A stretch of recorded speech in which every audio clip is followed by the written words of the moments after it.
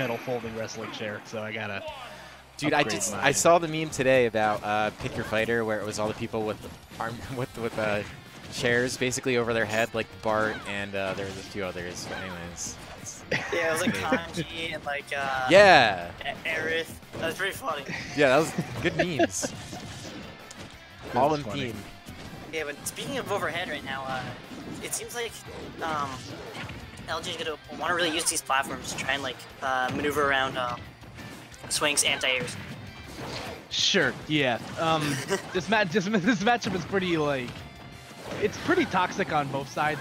Um, Lucina can kind of take advantage of the fact that DK's out of shields options outside of grab are like pretty mediocre, and because you have a sword, you can play around that range. But Donkey Kong could also just swing, Yeah, like pretty recklessly on Wi-Fi. So is it, as you're saying, swinging, he, he takes the first talk with the forward smash. Like, um, some other like out of shoot options he does have is that up B that we see coming out right there. That does have mega armor at the beginning. It's not too fast, but you know, uh, if, if they go for dancing blade on shield, you can actually just armor through some of the dancing blade hits. Yeah, uh, this could be okay. Messing up the timing on the ding dong just a little bit. Yeah, the Um, PDKO, as the, the DKs love to call it. yeah. Alright, so Swanky's having like a, little bit of a hard time like trying to get uh, get the stock out.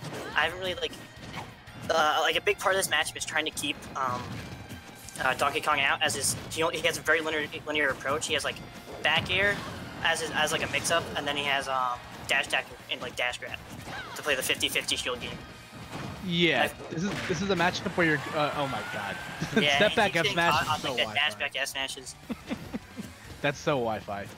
like that that doesn't work in real life, but hey, you know. Well, you get you get you can get one in real life, but Everybody gets one. getting as much as he has. Yeah, like a lot of these things right now is that like Swank, uh, Swank's getting hit by the like similar options over and over again, and he really needs to start adapting to them because like it, not only is he putting on percent, but he's also dying to these similar options.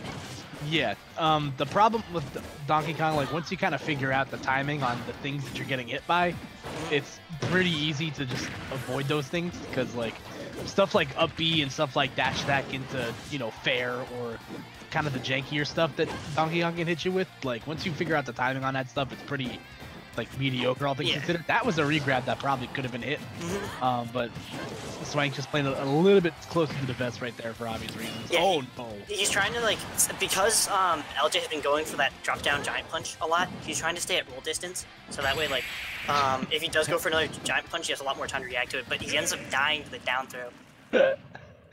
Yeah. That move It's is like so that, it's so silly. Like he, he just is so picks you up and he like from center stage and, and like carries you all the way off to like all the way to the blast zone, and it's not fun getting hit by. Thank God Donkey Kong is Donkey Kong, because otherwise he'd be incredibly toxic.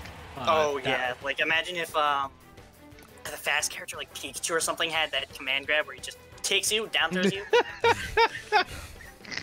The worst yeah, like part a lot of matchups are like actually kind of bad versus DK.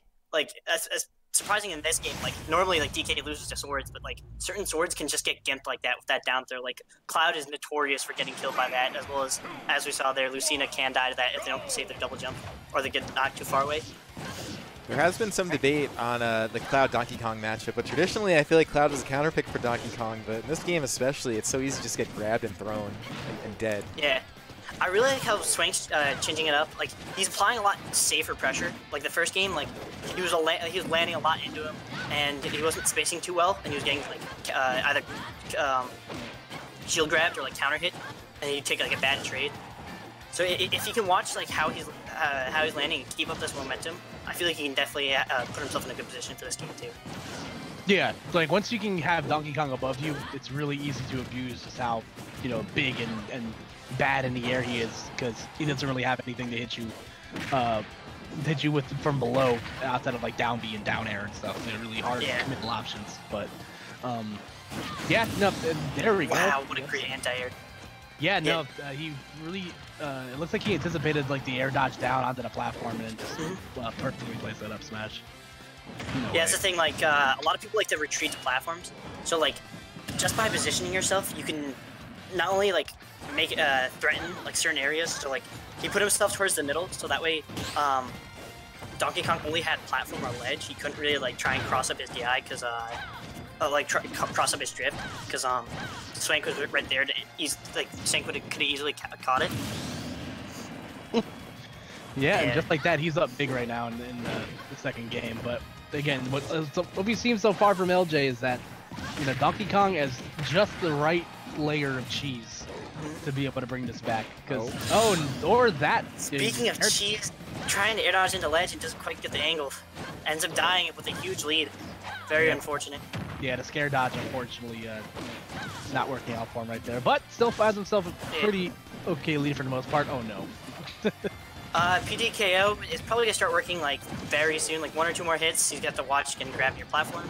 So, so Swank needs to start like, yep, all right, win, win advantage and like really go off with this.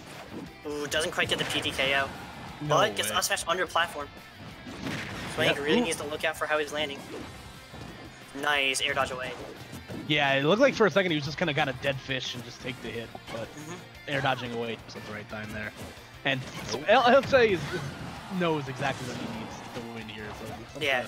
to, to Swank to see how he's gonna find the counter play here. Yes, yeah, so Swank should be focusing on like counter grab because as you see right there, like um, uh, LJ is like hard fishing for this grab, and it's very it's very obvious that he really wants like that run off down throw. And can he mash out in time? No, he cannot. That's going to be 2-0 from LJ. Yeah, um, one of the small buffs that you have, you, you know, well, I guess buff or, or debuff depending on how you look at it, is that Mhm. mashing on Wi-Fi, like mashing out of stuff, is incredibly hard. Oh, yeah. mashing out of things in real life is already a problem, but you know, Mm-hmm. especially with characters like Donkey Kong, where like if your life kind of depends on a, uh, if you mash,